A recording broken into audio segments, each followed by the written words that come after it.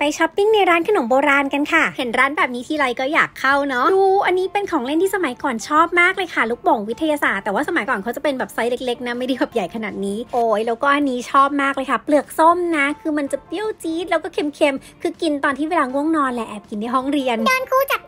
ด้เป็ นั่นแหละโดนจับได้ตลอด แล้วก็อันนี้จาจาค่ะ ขนมซื้อมานะไม่ค่อยได้กินหรอกเอาแต่บ้านกระดาษข้างในเนี้ยแหละ ส่วนอันนี้มิกิไม่รู้จักนะคะเดาว่าน่าจะเป็นเยลลี่นะน่ารักดี แล้วก็อันนี้เขาเลียนแบบยาสีฟันค่ะเนี่ยน่ารักเนาะเท่าที่ดูเขาก็จะมีของเก่าของใหม่ปนกันนะคะ ส่วนอันนี้ชอบกินมากๆเลยจำได้ว่าสมัยเด็กๆเนี่ยคือชอบรสนี้อันนี้เด็ดมากเลยค่ะแบงก์กาโม่ชอบเอามาพับนะแล้วก็ทิ้งไว้ที่พื้นแล้วให้คนมาเก็บสนุกมาก ส่วนอันนี้ใครเคยกินแล้วคอมเมนต์บอกด้วยนะคะมิกิไม่เคยเห็น ก็เนี้ยช้อปปิ้งกันเรียบร้อยแล้วนะคะ นานๆทีจะได้มาเดินทีก็ได้ทั้งหมด 2 อย่างนี้ค่ะ ถ้าเพื่อนๆชอบก็ฝากกดติดตามด้วยนะ